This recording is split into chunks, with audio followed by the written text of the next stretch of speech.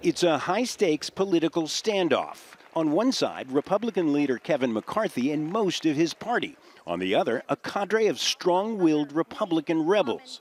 In six ballots over two days, McCarthy's mainstream Republicans have failed to muster the votes to elect him as Speaker of the U.S. House of Representatives. A Speaker has not been elected. It was a scene of Republican disarray.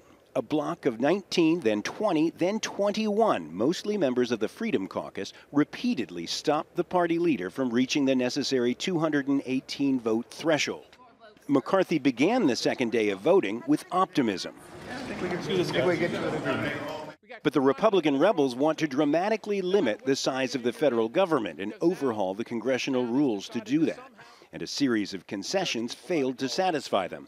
After hours of deadlocked votes, they took a three hour break for equally fruitless negotiations. Will the House be in order?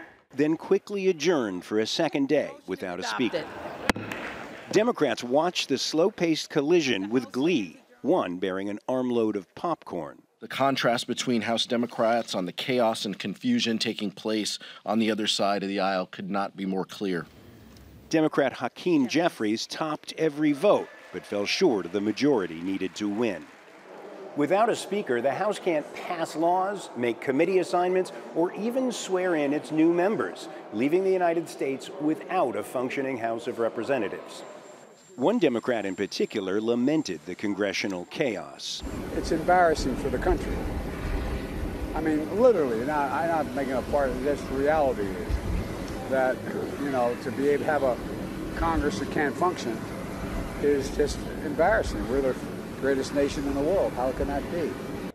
As Republicans battled it out on the House floor, President Joe Biden joined Republican Senate leader Mitch McConnell at a bridge connecting Kentucky and Ohio funded by a bipartisan infrastructure law, showing that even divided government can function when both sides cooperate. John Hendren, Al Jazeera, Capitol Hill.